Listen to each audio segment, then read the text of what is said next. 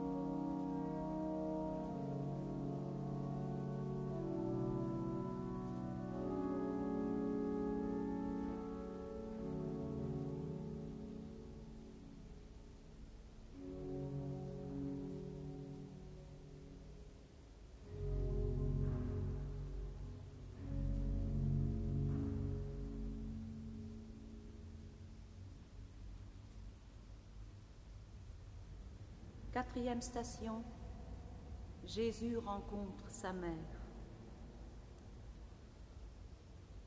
Ô mère qui avez vu mourir le premier et l'unique enfant,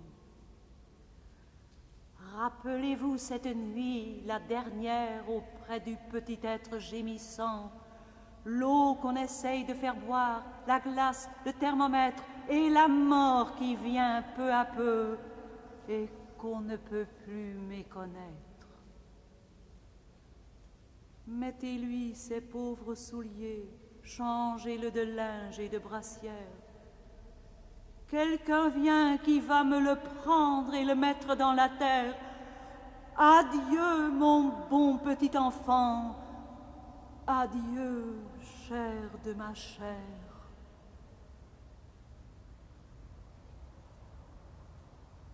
La quatrième station est Marie qui a tout accepté. Voici au coin de la rue qui attend le trésor de toute pauvreté. Ses yeux n'ont point de pleurs, sa bouche n'a point de salive. Elle ne dit pas un mot et regarde Jésus qui arrive. Elle accepte elle accepte encore une fois. Le cri est sévèrement réprimé dans le cœur fort et strict. Elle ne dit pas un mot et regarde Jésus-Christ. La mère regarde son fils, l'Église son Rédempteur. Son âme violemment va vers lui comme le cri du soldat qui meurt. Elle se tient debout devant Dieu et lui offre son âme à lire. Il n'y a rien dans son cœur qui refuse ou qui retire, pas une fibre dans son cœur transpercé qui n'accepte et ne consente. Et comme Dieu lui-même qui est là, elle est présente. Elle accepte et regarde ce qu'elle a conçu dans son sein. Elle ne dit pas un mot et regarde le sein des saints.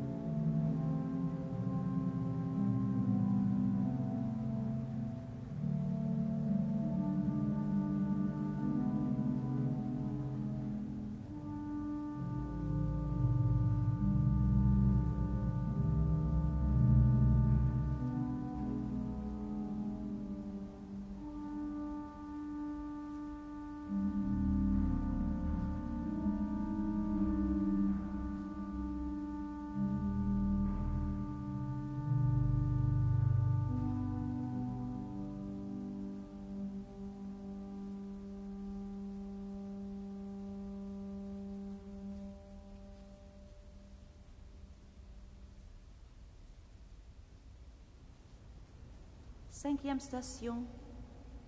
Simon le Cyrénéen aide Jésus à porter sa croix. L'instant vient où ça ne va plus et l'on ne peut plus avancer. C'est là que nous trouvons jointure et où vous permettez qu'on nous emploie aussi, même de force, à votre croix. Tel Simon le Cyrénéen qu'on attelle à ce morceau de bois. Il l'empoigne solidement et marche derrière Jésus afin que rien de la croix ne traîne et ne soit perdu.